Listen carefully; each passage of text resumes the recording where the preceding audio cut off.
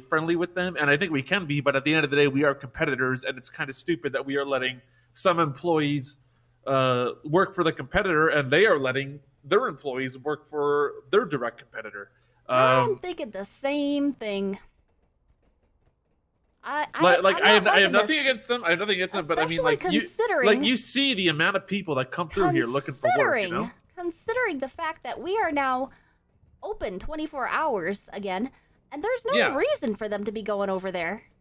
So I, I'd say you that if we have employees that work on both, you make them pick because I, I I honestly think that it's it's kind of fucked with how many people we turn down per day looking for employment, and we don't know how often they'd be here. We have employees that that uh, rarely show up as it is. Uh, You know, it's it's just. Uh, Yeah, I think and- it's and, I think uh, it's weird that there are people looking for employment in the city, like a shit ton of them, Uh, but then we have people working at both. You know what?